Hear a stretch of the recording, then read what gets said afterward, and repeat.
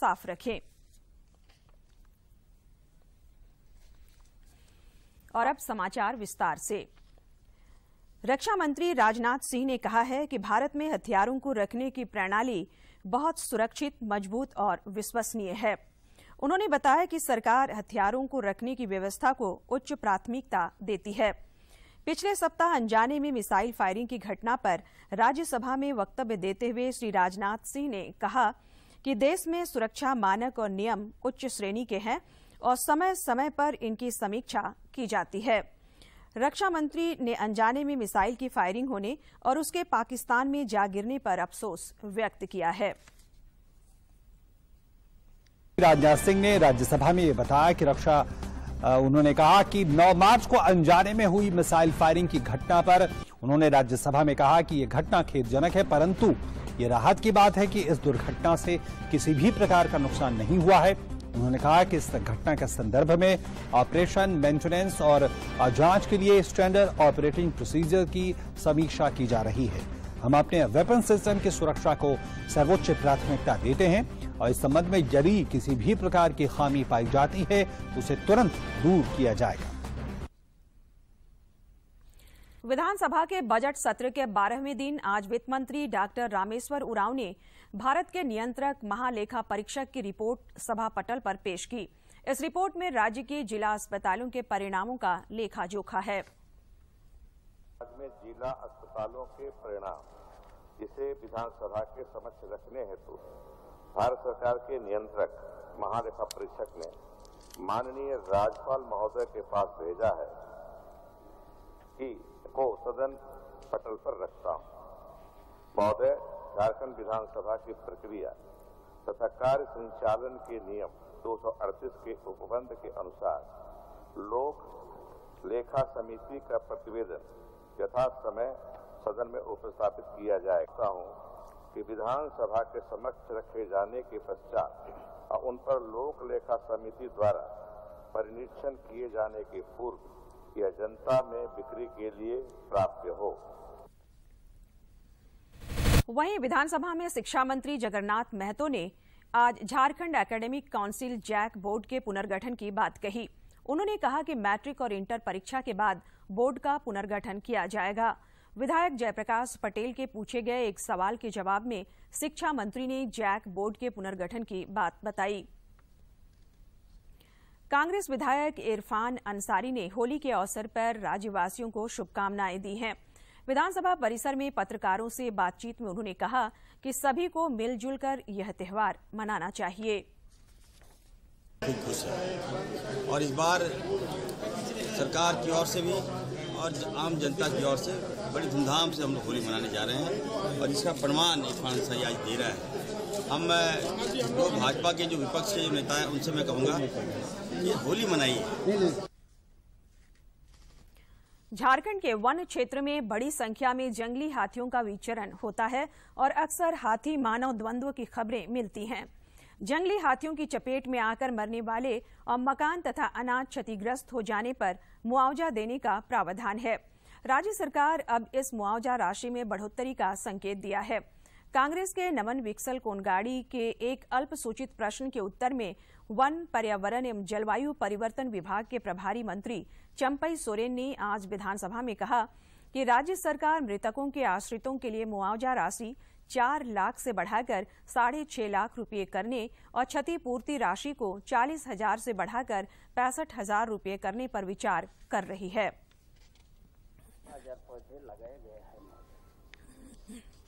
ताकि उस इलाका में, जंगल में जो खाने का नहीं होने से गाँव तरफ़ आ जाते हैं। गाँव तरफ़ आने से तो बहुत कुछ हो जाएगा, घटना घट जाएगी। और जहाँ तक ये जो मुआवजा की बात है, मुआवजा उसका भी हम लोग बढ़ाने के हम लोग प्रस्ताव है। जो भी जो मृतक होने से चार लाख दिया जाता है। उसको हम लोग कुछ बढ़ाने का प्रस्ताव है और उसको जल्दी हम लोग करेंगे ताकि हर समय जहाँ जहाँ जंगल इलाका है, ये होते रहता हर समय और गाँव क्षेत्रों में भी कुछ समिति के माध्यम से कैसे हाथी को रोका जाए, उसका लिए भी कुछ व्यवस्था किया जाता है विभाग की ओर से, ताकि आने से ऐसा लाइट, टॉर्च का भी व्यवस्था होता है। उस इलाके में ताकि ना आए। समिति को भी विधानसभा परिसर में आज होली मिलन समारोह का आयोजन हुआ। इसमें सभी दलों के विधायकों ने एक दूसरे को अबीर गुलाल लगाकर होली की बधाई और शुभकामनाएँ दी। कार्यक्रम में विधानसभा अध्यक्ष रविंद्रनाथ महतो, मुख्यमंत्री हेमंत सोरेन समेत सभी मंत्री और विधायकों ने हिस्सा लिया। चंद घंटों के बाद होली त्यौहार में प्रवेश करने जा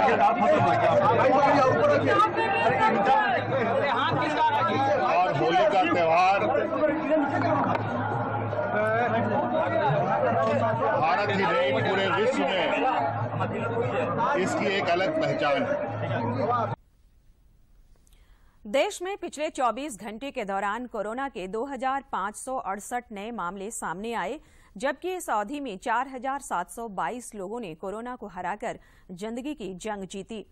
केंद्रीय स्वास्थ्य मंत्रालय के अनुसार देश में कोविड के 33,317 सक्रिय मामले हैं।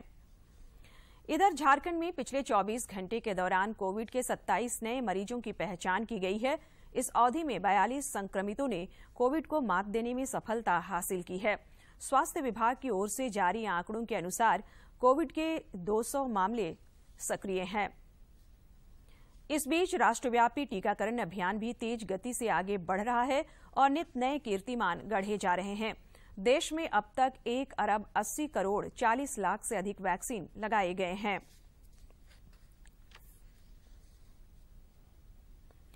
मुख्यमंत्री हेमंत सोरेन ने यात्रियों को सुविधा प्रदान करने एवं आर्थिक गतिविधियों को बढ़ाने हेतु राज्य में ट्रेनों का नियमित परिचालन एवं ठहराव पुनः प्रारंभ करवाने का निर्देश राज्य के परिवहन विभाग को दिया है। गौरतलब है कि राज्य सरकार के आग्रह के बाद रेल मंत्रालय द्वारा कोविड 19 के दौरान संक्रमण की रोकथाम एवं प्रसार में कमी लाने के उद्देश्य से कुछ ट्रेनों का ठहराव और परिचालन बंद किया गया था।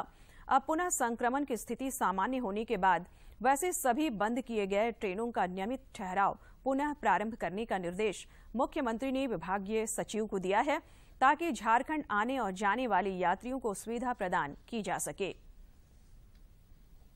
समाचारों में लेते हैं एक छोटा सा विराम।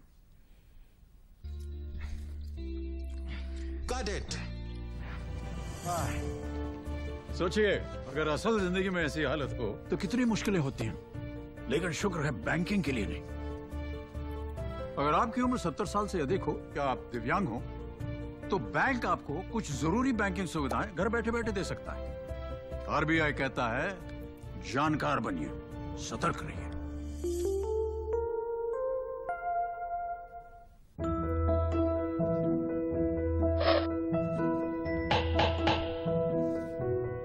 अगर मैं नियमित रूप से अभ्यास करना छोड़ दूँ, तो दीपिका कुमारी आर्ची चैंपियन नहीं बन सकती। इसी तरह टीवी की दवा नियमित रूप से नहीं लेने से इलाज कठिन हो सकता है। दो हफ़्ते से ज़्यादा खांसी रात में पसीना और हल्का बुखार या वज़न कम हो रहा हो तो बलगम की सरकारी अस्पताल में मुफ़्त जाँच ज़रूर कराएँ। राष्ट्रीय स्वास्थ्य मिशन झारखंड सरकार द्वारा जनहित में जारी। विराम के बाद समाचारों में आपका स्वागत है। राष्ट्रीय स्वयंसेवक संघ आरएसएस वर्ष 2025 में स्थापना का शताब्दी वर्ष मनाने जा रहा है। इस सिलसिले में संघ की ओर से देश भर में कई योजनाएँ बनाई जा रही हैं। रांची में आयोजित संवाददाता सम्मेलन में संघ के झारखंड प्रांत के प्रांत कार्यवाह संजय कुमार ने बताया कि देश को स्वावलंबी बनाने हेतु संघ की ओर से कई कार्य किए जा रहे हैं। और बस्ती में आठ सौ सैंतालीस में चार सौ इक्यावन में काम है। शेष जो बचे हैं उन सभी में आगामी 2024 तक अपने कार्य को ले जाने का लक्ष्य है। और शताब्दी वर्ष का मुख्य कार्य अभी यही है कि हम सब, सभी मंडलों तक, सभी बस्तियों तक और ग्रामों तक हम अपना काम को लेकर जाए राजधानी रांची समेत राज्य में गर्मी का आगाज़ हो गया है। राज्य के कई इलाकों में दो से तीन दिनों के अंदर अधिकतम तापमान 35 डिग्री के पार पहुँच गया है। सोमवार को जमशेदपुर का अधिकतम तापमान 36.4 डिग्री सेल्सियस रिकॉर्ड किया गया। मौसम विज्ञान रांची के वैज्ञानिक अभिषेक आनंद ने बताया कि आने वाले दिनों में गर्मी में और इजाफा होगा। और अब कुछ खबर, राज्य के विभिन्न जिलों से।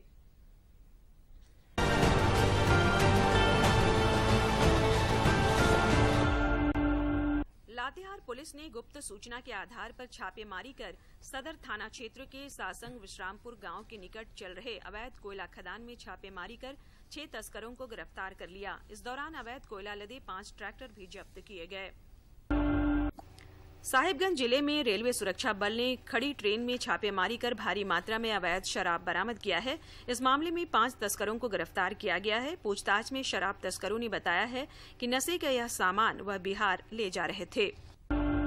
रांची के पुंदाग ओपी क्षेत्र में एक व्यक्ति की चाकू मारकर हत्या कर दी गई है। हालाँकि अभी तक उसकी पहचान नहीं हो पाई है। स्थानीय लोगों की सूचना पर पुलिस घटनास्थल पर पहुंचकर अग्रतर कार्रवाई में जुट गई है। होली के अवसर पर यात्रियों की सुविधा हेतु शून्य आठ एक आठ एक टाटा नगर छपरा होली विशेष गाड़ी का संचालन 17 मार्च को टाटा नगर से तथा शून्य आठ एक आठ दो छपरा टाटा नगर होली विशेष गाड़ी का संचालन 20 मार्च को छपरा से किया जाएगा। यह ट्रेन किउल बरौनी, समस्तीपुर, मुजफ्फरपुर, हाजीपुर के रास्ते चलेगी। श्रम मंत्री सत्यानंद भोक्ता ने अपने नियमित जनता दर्शन के तहत आज भी अपने आवास पर अपने क्षेत्र के कई लोगों से मुलाकात की। इस दौरान उन्होंने लोगों की समस्याएँ सुनी और उनके निराकरण का आश्वासन दिया।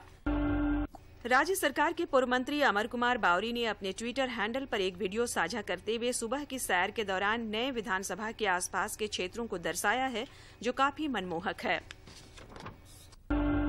Jharkhand NCC battalion Jamshedpur circuit house area स्थित शिविर में आज कुल 35 कैडेटों को सम्मानित किया गया। इस अवसर पर उन्हें प्रमाण पत्र के साथ नकद पुरस्कार से भी सम्मानित किया गया।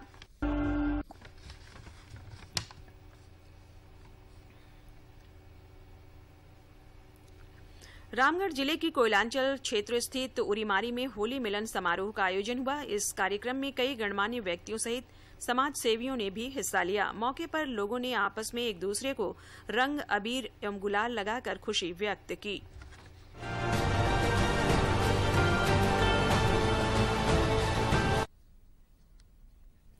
गुमला ज़िले के बसिया प्रखंड मुख्यालय में बिरसा पुस्तकालय की स्थापना की गई है।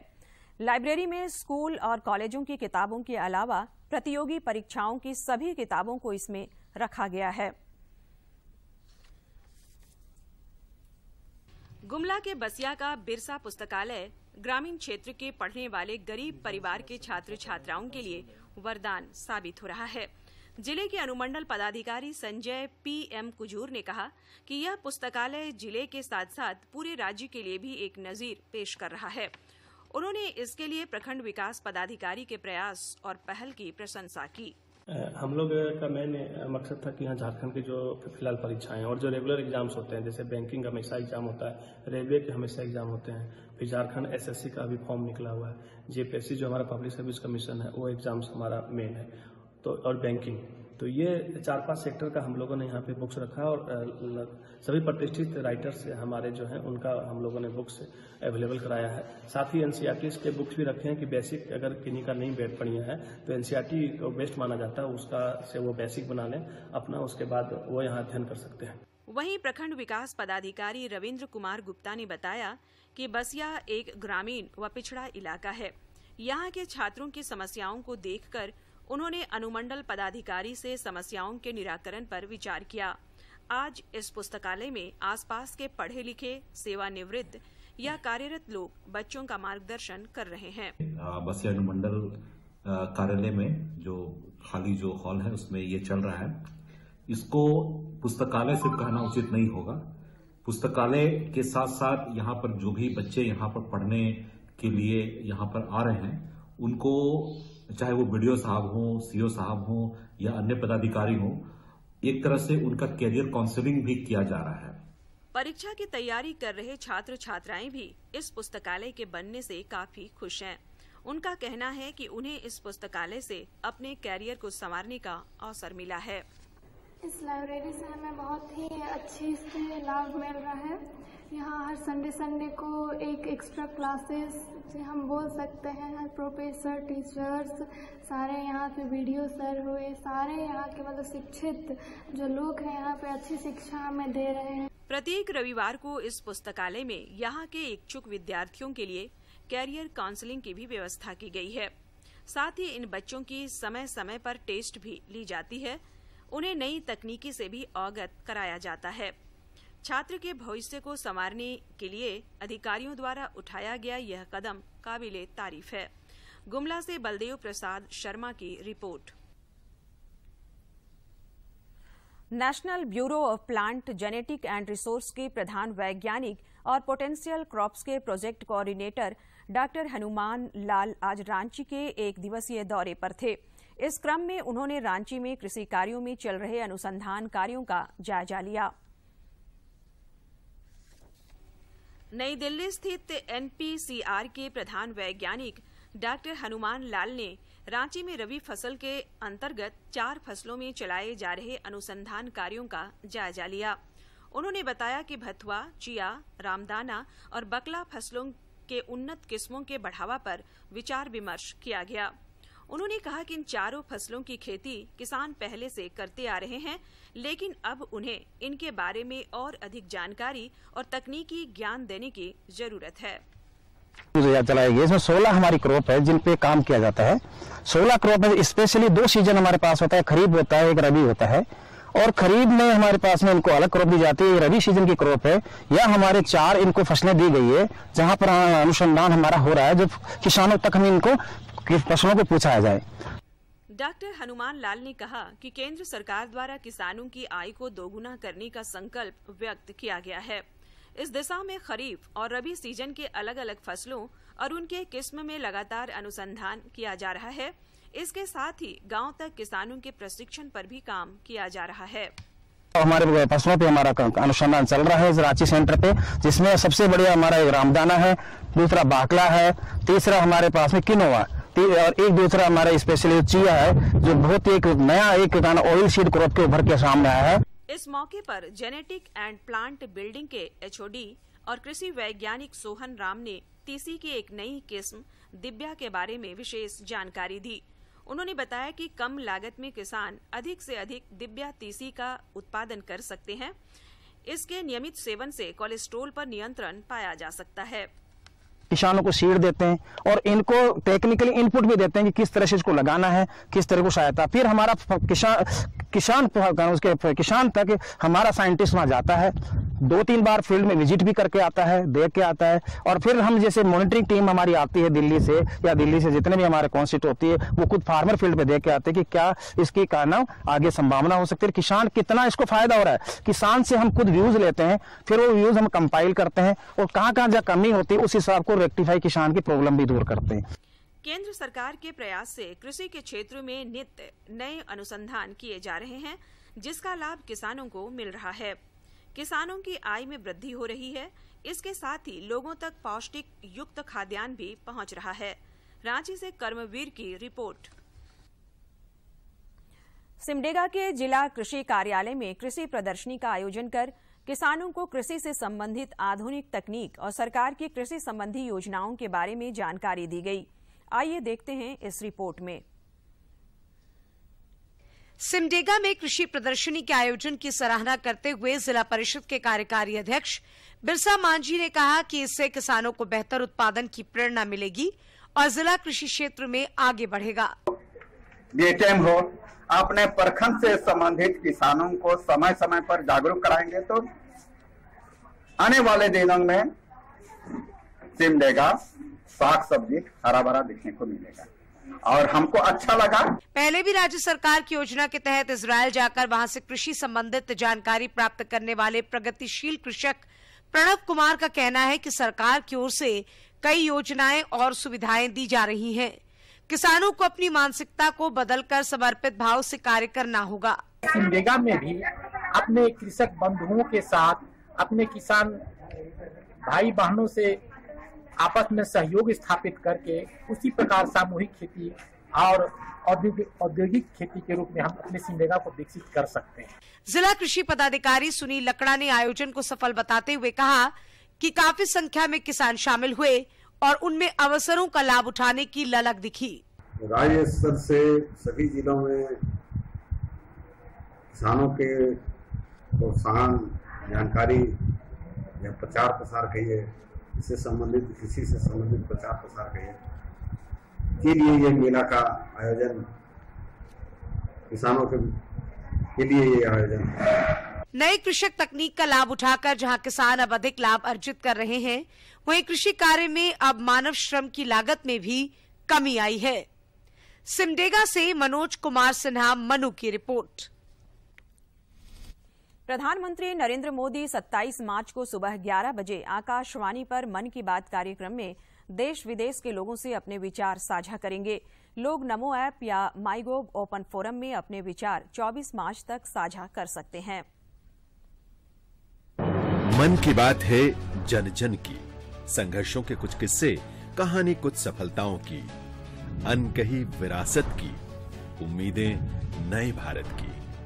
महीने के आखिरी रविवार का रहता है इंतज़ार मलयाचल के आंचल से विंध्याचल के आँगन तक।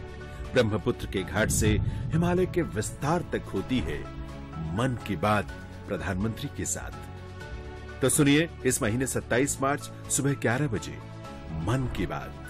आकाशवाणी और दूरदर्शन के सभी चैनलों पर। मन की बात के प्रादेशिक भाषाओं में अनुवाद का पुनः प्रसारण आप सुन सकते हैं रात आठ बजे आकाशवाणी और दूरदर्शन के सभी प्रादेशिक चैनलों पर। तो याद रखें, रविवार 27 मार्च सुबह 11 बजे, मन की बात। और अब जानकारी लेंगे विधानसभा समीक्षा की। बजट सत्र के बारहवें दिन आज वित्तीय पाली में भाजपा विधायकों की ओर से उठाए गए विभिन्न मुद्दों तथा सत्ता पक्ष व विपक्ष के बीच एक दूसरे के खिलाफ हुए आरोप प्रत्यारोप के बाद विपक्ष ने सदन का बहिष्कार किया। वहीं चंपई सोरे ने विधायकों के सवालों का जवाब दिया।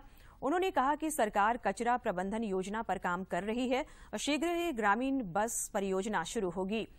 इसके पहले ध्वनि मत से परिवहन विभाग, नगर विकास एवं आवास विभाग की अनुदान मांग पारित हो गई। विधानसभा की कार्यवाही में हिस्सा लेने आए विधायकों ने आज परिसर में जमकर होली मनाई। इसमें सभी दलों के विधायक व सरकार के मंत्रियों ने भाग लिया। प्रथम पाली में शून्यकाल के दौरान भाजपा विधायकों ने पोषण सखियों पर हुए लाठीचार्ज का मामला उठाया। एक सवाल के जवाब में खेल मंत्री हफीजुल हसन अंसारी ने कहा कि राज्य के सभी विधानसभा क्षेत्र में एक एक स्टेडियम का निर्माण कराया जाएगा। चर्चा में भाग लेते हुए शिक्षा मंत्री जगन्नाथ महतो ने कहा कि झारखंड अधिविद्य परिषद बोर्ड का पुनर्गठन मैट्रिक व इंटरमीडिएट परीक्षा के बाद किया जाएगा। विधायक जयप्रकाश भाई पटेल के पूछे सवाल के जवाब में शिक्षा मंत्री ने यह जानकारी दी। विधायक प्रदीप यादव ने अल्पसूचित प्रश्न के माध्यम से सरकार से जानना चाहा कि कस्तूरबा आवासीय विद्यालय एवं सत्तावन झारखंड आवासीय विद्यालय में शिक्षक एवं शिक्षेतर कर्मचारी आज भी अस्थायी हैं और सरकारी विद्यालयों के शिक्षकों से काफ़ी कम मानदेय पर काम कर रहे हैं। उन्होंने सरकार से हरियाणा एवं अन्य राज्यों की तर्ज पर इन शिक्षकों को स्थायी करने की मांग की। इससे पहले विधानसभा की कार्यवाही में हिस्सा लेने पहुँचे भाजपा व आजसू के विधायकों ने अपनी मांगों को लेकर धरना दिया। नगर विकास विभाग के बजट पर कटौती प्रस्ताव पर भाजपा विधायक नवीन जायसवाल ने नगर विकास की एजेंसी के जुडको, रांची नगर निगम के दलीय आधार पर चुनाव, रांची नगर निगम की कार्यशैली, पार्षदों के वेतन आदि मुद्दों को उठाया। इस पर संसदीय कार्य मंत्री आलमगीर आलम ने पूछा कि भाजपा सरकार ने साहेबगंज पाकुड़ में नगर पालिका चुनाव को दलीय आधार पर चुनाव कराने का निर्देश क्यों नहीं दिया? चर्चा के दौरान सीपी सिंह ने कहा कि उनकी सरकार ने दलीय आधार पर चुनाव कराने का नियम पूरे राज्य के लिए बनाया था। उसमें साहिबगंज और पाकुड़ भी आते हैं। उन्होंने कहा कि रांची, हजारीबाग, जमशेदपुर में शहरी क्षेत्रों में लोगों को शुद्ध पेयजल नहीं मिल रहा है। दो साल से बोरिंग कराने पर बैन लगा है। उनकी सरकार से मांग है कि शहरी क्षेत्रों में वैसे इलाके जहाँ पाइपलाइन से पेयजल नहीं पहुँच रहा है, वहाँ की समस्या दूर करने के लिए दो साल से बंद बोरिंग ठीक करने का निर्देश पार्षद को देने का काम करें। भाजपा विधायक ने ट्रांसपोर्ट नगर बनाने के फैसले का स्वागत करते हुए कहा कि यहाँ 350 से 600 ट्रांसपोर्ट गोदाम बनाना है, जबकि ट्रांसपोर्ट नगर के लिए मात्र 40 एकड़ ज़मीन दिया गया है। यह काफ़ी कम है। सरकार को चाहिए कि अगले 50 साल को ध्यान में रखकर सरकार ट्रांसपोर्ट नगर बनाने की दिशा में काम करे। विधायक विनोद सिंह ने कहा कि राज्य में पचहत्तर हज़ार पुलिसकर्मी विरोध दिवस मना रहे हैं। विधायक सरयू राय ने सरकार से इस मामले पर जल्द ही निर्णय लेने की मांग की। बजट सत्र से पूर्व सदन के बाहर भारतीय जनता पार्टी के विधायक अमर बावरी ने राज्य की विधि व्यवस्था और दुष्कर्म जैसे मामलों को लेकर सदन के बाहर अपने हाथों में तख्ती लेकर प्रदर्शन किया। विधानसभा के बजट सत्र के बारहवें दिन पुलिसकर्मियों के क्षतिपूर्ति राशि का मुद्दा उठा, जिसके जवाब में संसदीय कार्य मंत्री आलमगीर आलम ने कहा कि पुलिसकर्मियों को 20 दिनों का क्षतिपूर्ति अवकाश देने का काम बहुत जल्द होगा।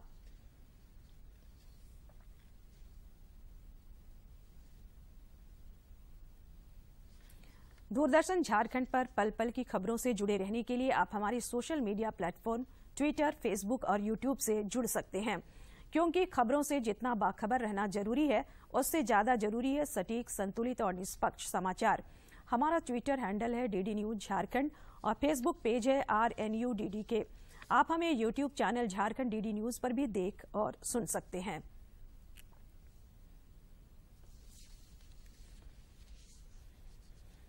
और अब आखिर में इस बुलेटिन के मुख्य समाचार, एक बार फिर। झारखंड विधानसभा में वित्त मंत्री डॉक्टर रामेश्वर उरांव ने नियंत्रक महालेखा परीक्षक के प्रतिवेदन को किया पेश। झारखंड में जिला अस्पतालों के परिणामों का है ब्यौरा। मैट्रिक और इंटर परीक्षा के बाद होगा Jharkhand academic council board JAC का पुनर्गठन। शिक्षा मंत्री जगन्नाथ महतो ने विधानसभा में दी जानकारी।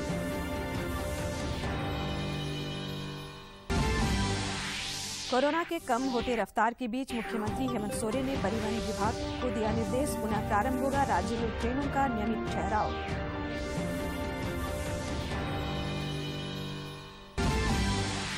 और राज्य में गर्मी का आगाज़ कई इलाकों में दो से तीन दिनों के अंदर अधिकतम तापमान पहुँचा 35 डिग्री के पार।